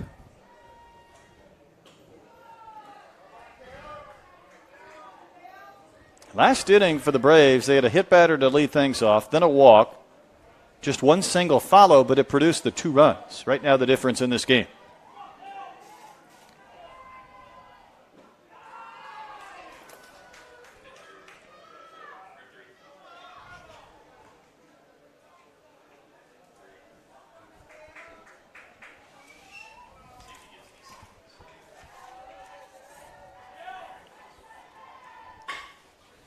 Chopper foul outside the bag at third for Mateo from Luther Burbank Middle School, eighth grade. It's part of the 12U USA Baseball National Team last year.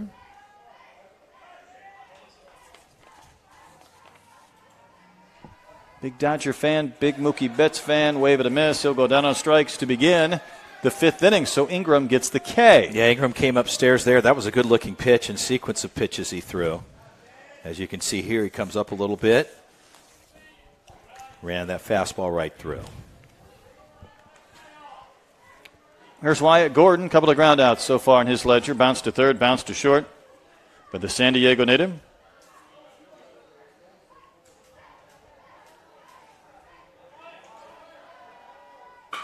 Hard hit to third. Boy, that took every reach by Woodley to make the play, and he hung with it. He's made now three plays in the last couple of innings, and none have really been routine. Yeah, that, that was a great play. A good stab at it, as you could see as he reaches up. I mean, he had to go as high as his hand would take him, and he was in the right position to make the play. Good throw across. Throw was true. This is Halverson. It's a roller to Duncan. He's got it. And that's back to back. Perfect frame. So the Braves do not add to the lead. They go down in order, and we head to the bottom of the fifth inning. Bolts have some work to do, trailing six to four in the 12U Invitational National Championship.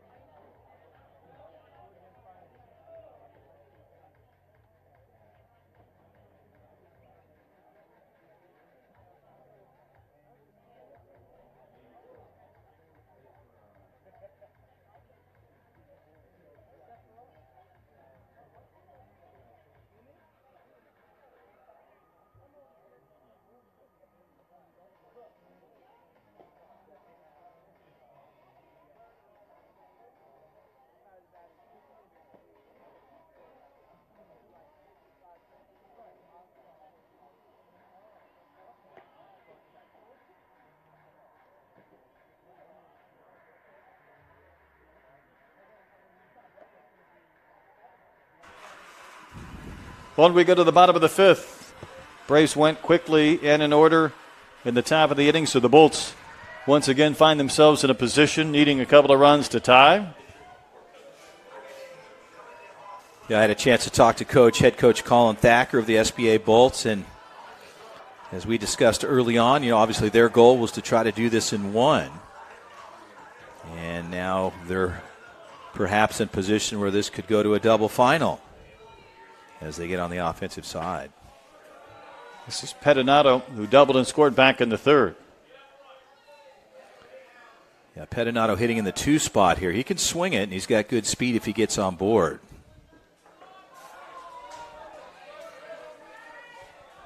So heart of the lineup. Galong came on and got the final out in the second and has been in there since. Left-hander's been around the zone a lot. In fact, he has retired now five straight hitters.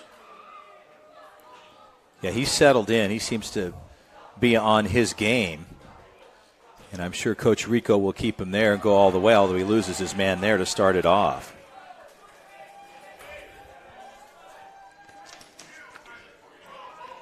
Brings up the dangerous Trey Lawrence, but he's oh over 2. He got rung up on a big curveball back in that three run third inning. Yeah, Lawrence, I mean, he's he can swing it as well.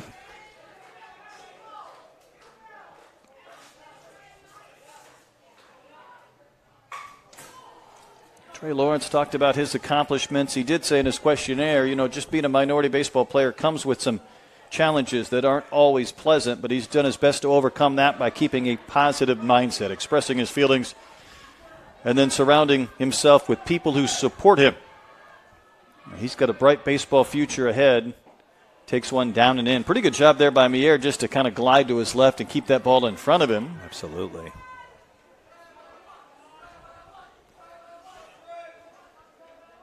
Yeah, you got to be careful here. Galong takes a long look over to first.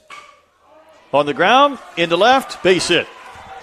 So a walk and a single, and Pettinato is going to go all the way to third, and with that bobble and left, Lawrence continues to second. Yeah, that was a well hit ball getting through and some heads up base running. And now scoring opportunity. Lawrence just read this bobble. I think he was going to be content to stop at first. You can see Pettinato go to third, so when this little misplay, then he just raced to second base and there was no throw. Absolutely opened up the door quickly. But again, that's alert. That's good baseball IQ demonstrated right there. Tying runs just like that are in scoring position. And now the bases are loaded. Wyndham hit by a pitch for the second straight plate appearance. Yeah, that's the last thing that Galong wanted right there. Just getting away from him.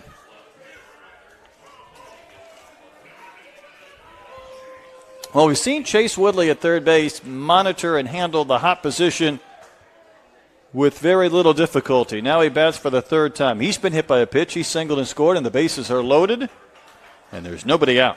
Yeah, Woodley in the five spot. You know, certainly a big opportunity here for SBA. A little bit of movement going on in the dugout with the Braves as Coach Rico heads out to the mound. He's keeping that towel close by, and that's for one thing, just to kind of wipe some of the perspiration off his face whenever he needs a little uh, pick me up. And right now, he is going to make a pitching change. Yeah, so Galong will have a seat, but he did a good job. Galong hung in there. Looks like it's Evan Thompson. He has been the extra hitter in the lineup. And now he will come on to throw. Yeah, Thompson, right handed thrower for the club. He's got pretty good command of the plate. He throws a breaking ball, good little fastball. And this kid's got some range. He can deal. We'll see how he does here. It's definitely getting hotter. There's no question about it as we head towards the 3 p.m. hour here in Southaven, Mississippi. Weather's been great all week. We've had excellent weather. We had really no significant rain of any. No sort. lightning. No lightning. That's well, good. we did have lightning All one right. day, That's- and our lightning break was only about probably 35 All right, I minutes like or so. that. It wasn't bad at all. Unlike Florida, Myrtle Beach, any of these locations, Yeah. Panama City, some of these locations. Lightning capitals of the world. Oh my gosh! And you know, of course, the safety measures that are necessary. Uh, we've seen some long delays. Thompson finishing up his warm up tosses, throws a fastball curve and a changeup. Young man from Gilbert, Arizona. Also plays for the Scottsdale Dirtbags in addition to Braves baseball. Would love to play at Stanford or Arizona State. And I would say he inherits a bit of a mess, though. Bases loaded, nobody out. Bolts down by two, trying to find a way to come back and win. And it was the home team that was trailing for the entirety of our first game before they scored two runs with two outs in the sixth to walk it off and win the championship. And you know, are we replicating here? We shall see. But uh, tough situation to come in off the bench, but again, we'll see how he operates and what they can do here.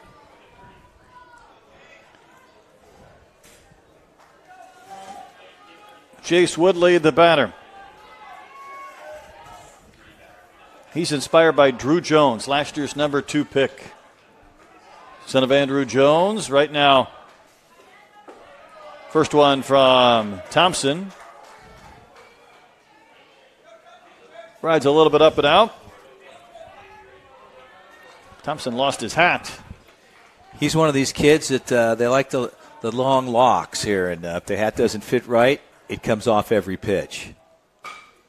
Soft flare. This is trouble. Base it. It's going to drop in. Lawrence has great speed. He will score. This game is tied at six apiece. Well, a good piece of hitting there. Just squaring up. It was a shallow hit, but you've got excellent speed on the bases and the two runners scoring there. That ball just dropped in right inside left center gap area.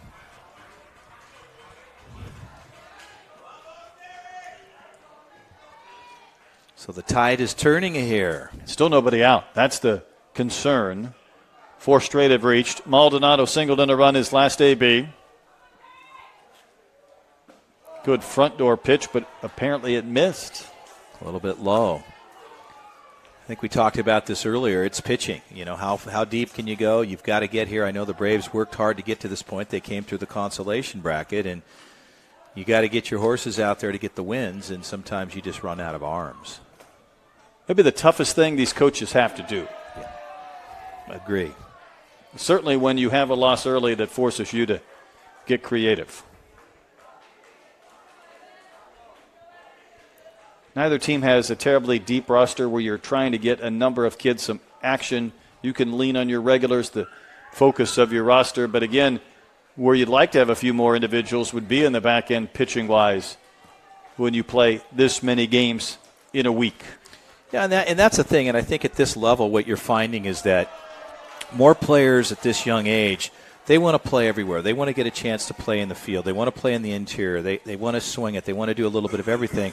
It's hard to find straight POs at 12 years old and 11 years old. Although there are those players that exist out there, and many of them are already playing with different organizations. Boy, what a hack! Boy, that was a good pitch too. Upstairs, a big swing. But I think you'll probably see that. You know, in the, in the older groups, you see that. You know, you're going to see guys. They're going to be more specialty oriented players. They're going to be POs. They don't mind coming in and doing their job where they need to. And I think if you can carry more players like that deeper into these bigger tournaments, obviously the outcomes can be more favorable. But it's tough with pitching.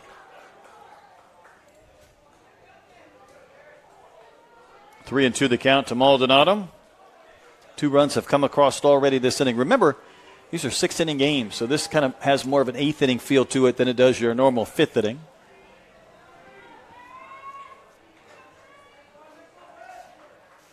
Wyndham at second, Woodley at first. That ball is absolutely blistered to right. Up, out, and gone. Maldonado hit that about 310 feet. A ringing three run shot, and for the first time today, the Bolts have taken the lead. Well, that was a massive swing there, and the pitch was just hanging right on the plate. Uh, there, Maldonado crushed it, as you said, 300 to the fence. That thing was about three, uh, three in big change for certain. A well hit ball as he cleared the bases.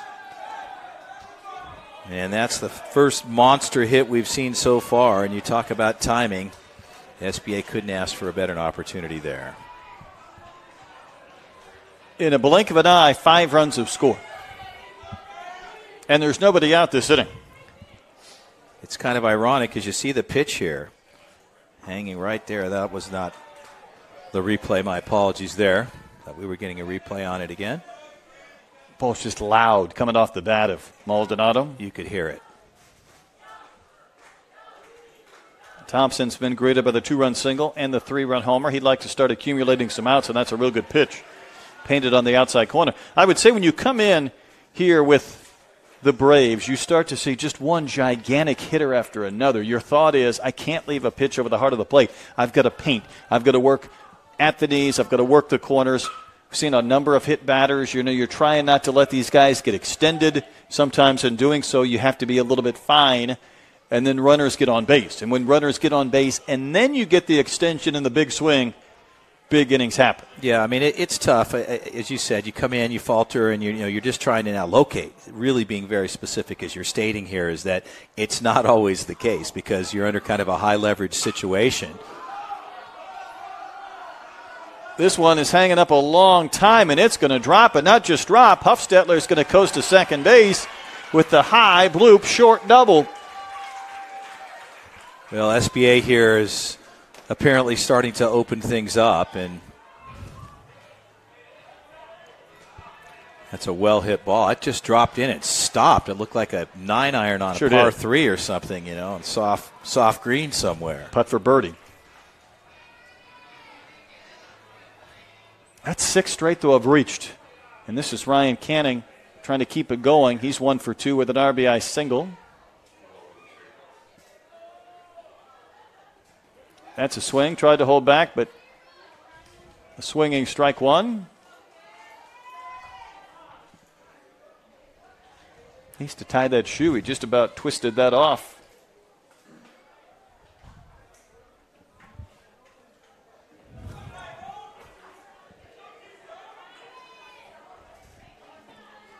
Braves had had the lead the entire game until this inning.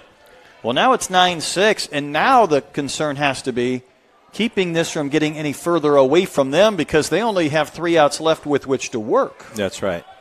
And I think this is a t- this is a pressure cooker here at this point in time, especially for the pitcher. I mean, coming in, you want to throw strikes, but you want to try to keep things under control instead of it really allowing itself to break open as it has thus far particularly in the fact that there's no outs.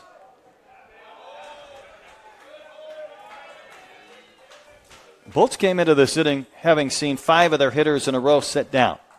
It's been walk single, HBP, two run single, three run homer, bloop double. Yeah, I mean, I think Galong did a fine job. I mean, coming in for Ruiz and carrying the the torch as far as he could. And now you're just in a situation here where it's a tough call. These guys have definitely jumped on it.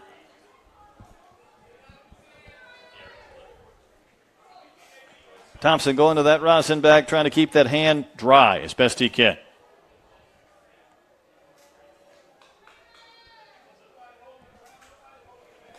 Looking for that first out, and there it is. Strike three call. Good pitch to Ryan Canning. Yeah, good pitch on the outside part of the plate. Gets the strike called on the outer half. That's a great pitch. Canny just froze there and took a look. Boy, he comes at the right time. Owen Duncan, the shortstop, next man in, 0 for 1 with the walk. Getting towards the bottom of the lineup in the bottom of the fifth. But now the Bolts up by three. Front door breaking ball for a strike. Yeah, Duncan hitting in the nine spot for SBA.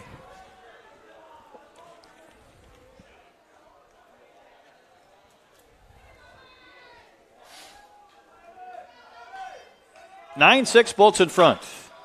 On the ground, softly hit, but this is going to take a perfect play. Messick was looking to third. I don't think he believed he was going to have time to plant and throw back across his body to first, but Duncan hit it in the right spot and now there's runners on the corner. Yeah, you can see here the ball hit to him. A little bit of a decision there. He kind of grabbed it, gathered. He had the ball in his hand and just hesitated. Third baseman was not there on the bag. He was off a ways, and then just no throw, as you mentioned, back over to the first base side. Sort of a no man's land. Trevor Snyder now batting. If Snyder reaches, then you turn this lineup over. The only guy who's not hit this inning is Maddox Bryant. He's on deck. So they could indeed hit 10 at least this inning, barring some type of double play here.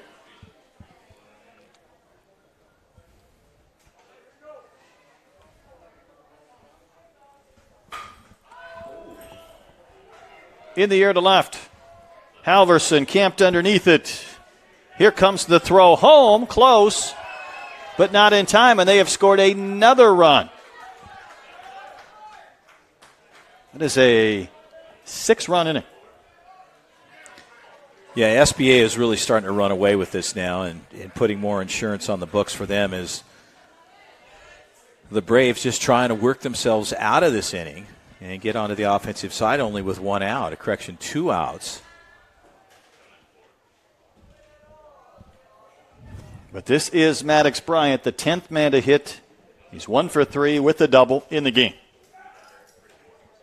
Remember, this was a 6 4 Braves lead coming into the sitting. Absolutely. And it didn't look as though it was going to open up like this, but again, with the change made, the bats are coming to life. Uh-oh. Driven down the line in right into the corner. That ball's off the base of the fence. A long swing from Bryant all the way from first. Duncan will score the seventh run of the inning. Yeah, he got all of that. And a well hit ball down to the first base side. That was deep. A good cut through the zone. An excellent swing. Lifted that ball perfectly to the right side. And as you stated, right off the fence. We might have another pitching change, just trying to get that third out here in this fifth inning. Well, at this level, at this point in the game, you never know what can happen. It's the nature of the game. Things can switch. There's possibilities. It just depends on the pitching, and that's going to do it. So Coach Rico will bring another pitcher in. Looks like number eight will come in for the Braves.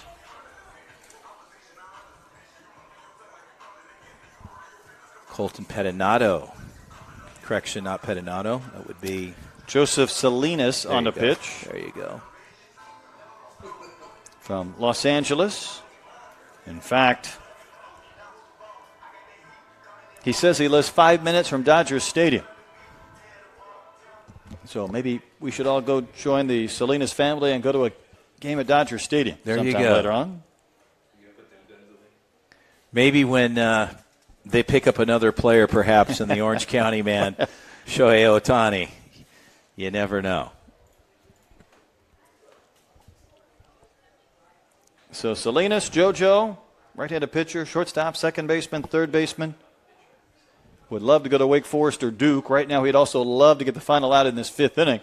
Well, Seven runs have come across. Yeah, this has been a very productive inning for SBA. They're getting on the bats early, and they're definitely on a roll here. What looked to be, and this was very comparable to the first game that we did earlier, the fifth inning seemed to be the inning that opened things up.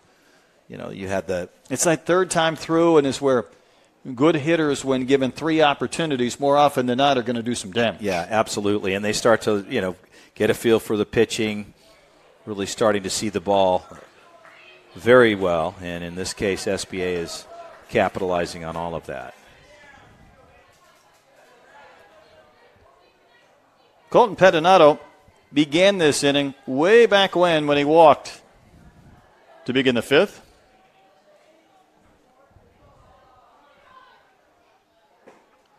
Good breaking ball for strike one.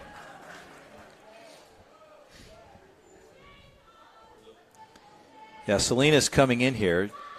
Hopefully, he can just take care of business and get the outs he needs. Tell you what, he's spinning a couple of them in there for strikes. Back to back. Good pitch here. Joseph Salinas comes right back at it a third time. he wanted strike three. He was looking for it. He ran the outside part of the plate. Just a little bit low and out. Joseph says his favorite teacher is Dad because he's taught me everything I know about baseball. There you go. Dad's probably got that heartbeat going just a little bit faster. I know that drill. That pitch is outside. It's all fun and games until the kid gets out there on the mound, and then the heartbeat gets going. Yeah, absolutely. I know that feeling. I've got a pitcher as well.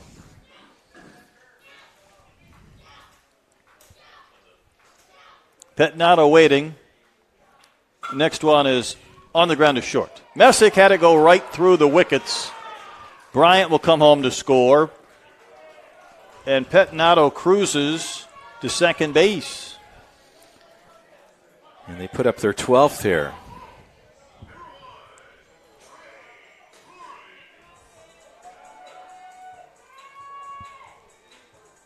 Messick might have been almost too quick trying to get that ground ball and make a play. It looked like he got himself in position, but again, it just went through his glove and just pulled his glove up a bit. Trey Lawrence had a single earlier this inning, so he has a chance for a two hit inning. All of a sudden, you almost start to think about a run rule possibility before you even get to the sixth. That's possible.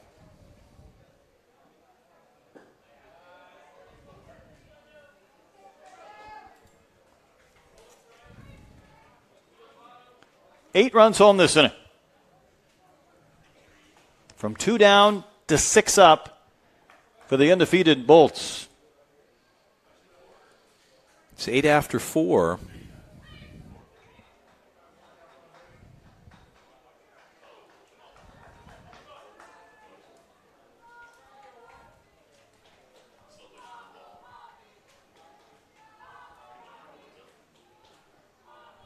Next pitch to Lawrence. A little bit outside, missed from Salinas. And he is the fourth pitcher that the Braves have used. It was Ruiz, Galong, Thompson, and now Salinas.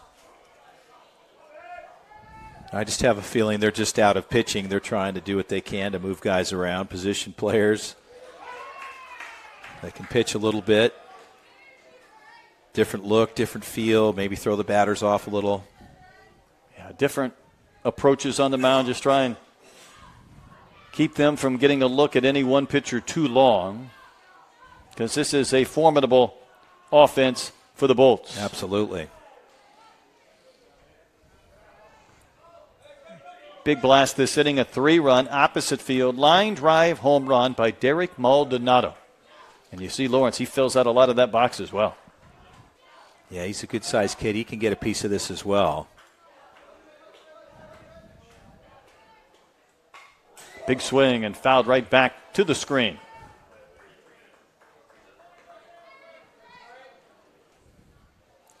You know, you get this far ahead in this one inning, uh, you know, you really start to relax. The team gets really loose and things start happening consistently. You know, it seems that, that when you start having this, this far of a spread, it's, uh, in a lot of cases, you play a little bit better. Fouled over near the dugout. Lawrence stays alive. How many can the Bolts score this inning? Salinas trying to end it, give his team one more chance in the top of the sixth.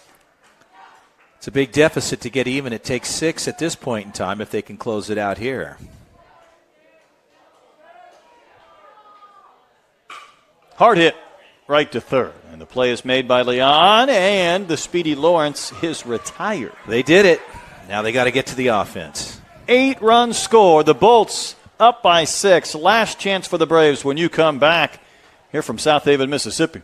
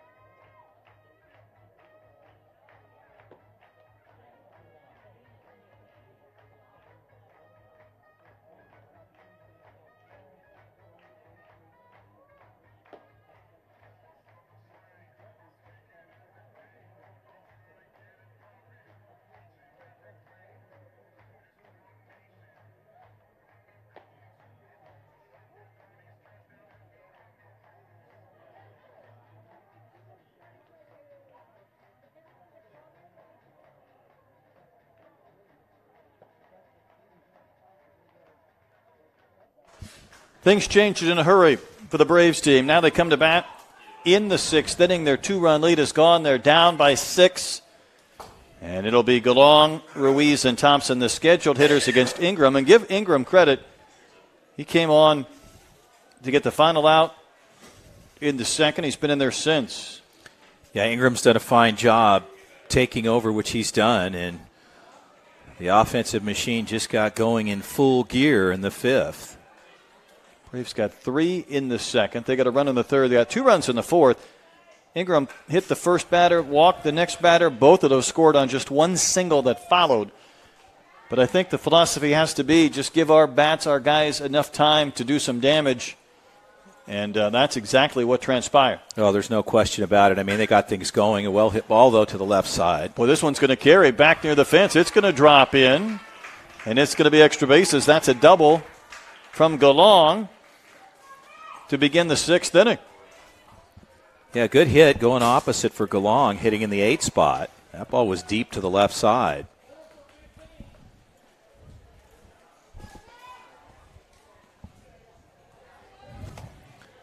See a good swing there. A long way to the fence.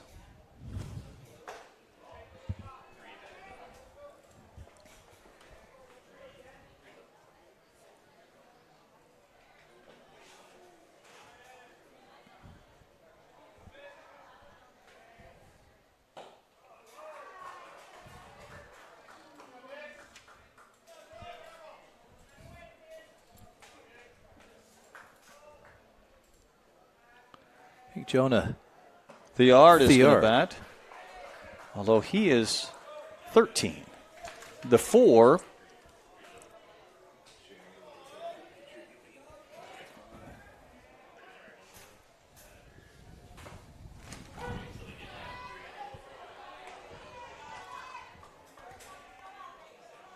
This is Nicholas Nava. make sure we get the right guy. So Nicholas Nava is going to bat. Going to bounce one to second base. He's going to be the first out in the sixth inning. We just didn't get that communication coming upstairs here. We're good to go, though. Nava wearing there number four. Comes in as a sub. And this is Evan Thompson. He's been an extra hitter. He's pitched, scored a couple of runs, single on a walk. Right now, the Braves down to their final two outs.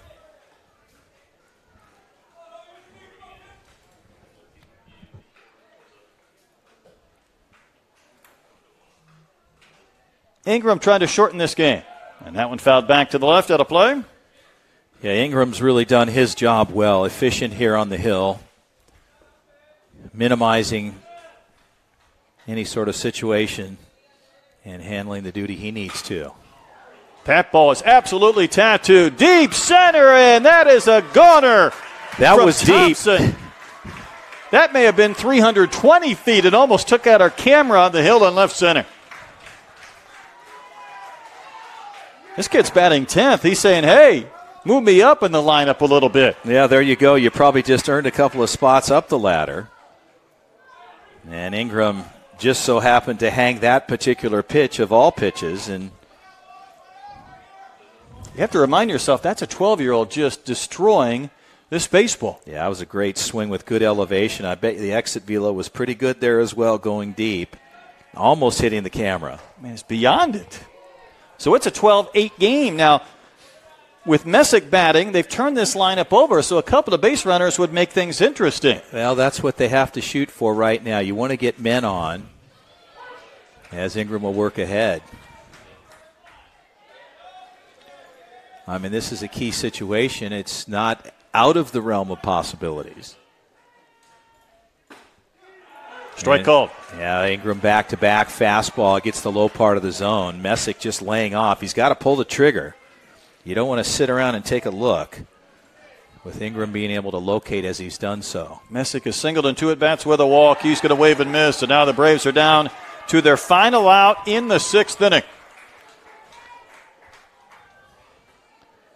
Well, I know it's been a great tournament, and certainly behind the scenes, the folks from Perfect Game, Tony Harper, his crew, everybody, take a moment just to thank them and all their work that they've done. Everybody, the operations group.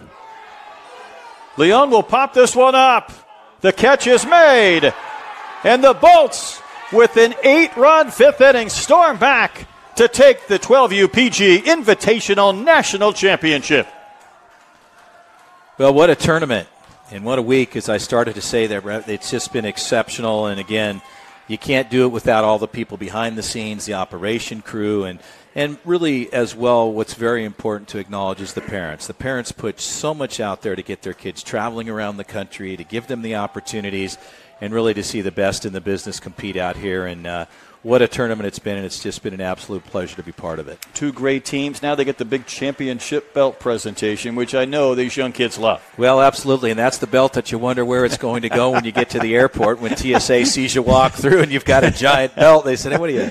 A big time wrestler, or what's up with that? No, it's a great point. Yeah, no, it's been a great one, and uh, really another outstanding tournament put on by PG.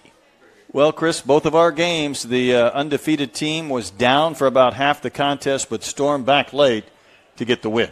Well, absolutely, and again, uh, it just it just speaks the volumes and the level of talent, the calibration of these players, what they can do, and, and really their ability to go out there and perform. At the end of the day, sportsmanship prevails. These young players really demonstrated what they're all about, and uh, you can't say enough about how great these players are, and certainly the events a perfect game puts on around the country. Congratulations to the SBA Bolts 12U. They are the 12U PG Invitational National Champions with a 12 8 win today over Braves Baseball. So, for Chris Allard and our entire crew, I'm Brett Dolden, thanking you for tuning in. Once again, the Bolts are the champions, and thanks for joining us right here on PerfectGame.tv.